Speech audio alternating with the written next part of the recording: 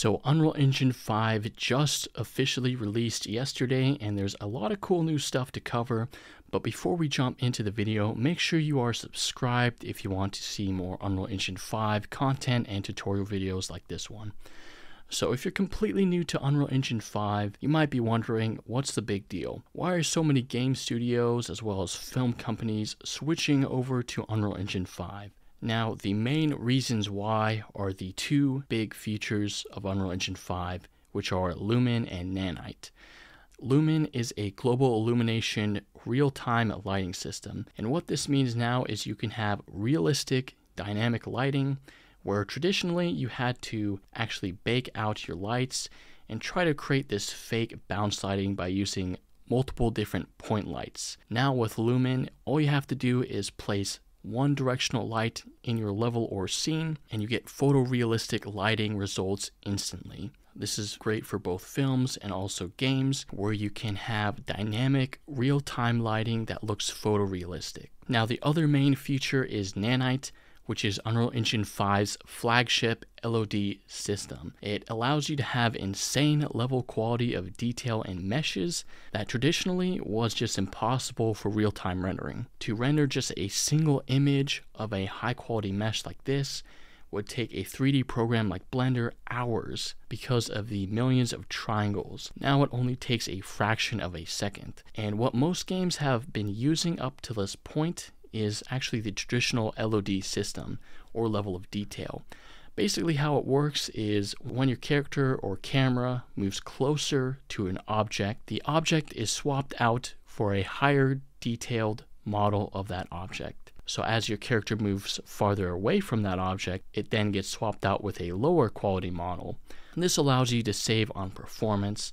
And while this system sounds great in theory, in actual implementation, can have a lot of issues. And we've seen this in games like Cyberpunk, where you get lots of popping in of meshes, where you can see the obvious transition between that higher quality mesh and the lower quality mesh. What Nanite solves is that there is literally no more popping in of meshes. You can just load in a very high quality mesh that has millions of triangles and there's absolutely no popping. And the other side of that is that it is all still real time.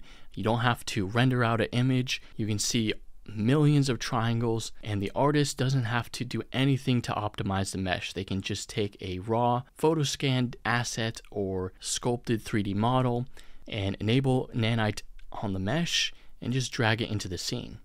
Now, these two systems not only bring photorealism to games, but also real time rendering pipelines like the film industry and much more.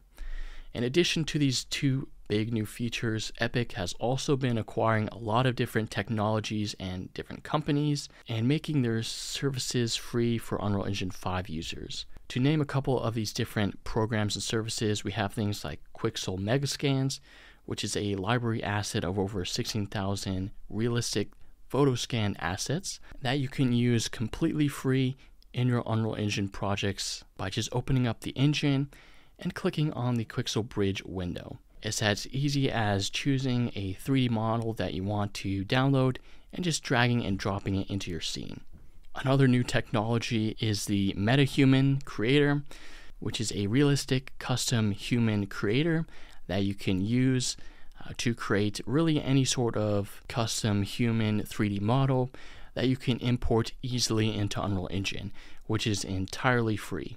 What's nice about all of these new features and technologies is that literally anyone can download the engine for free and within minutes start playing around with photorealistic assets, as well as use the same tools that big studios use around the world to create AAA games or popular TV shows and movies. So it's an obvious no brainer that more and more film and game studios are actually choosing to use Unreal Engine to develop their games and films. There just really isn't any reason why not to use the engine. There are just so many free tools, and not to mention the whole engine is free to use and completely open source.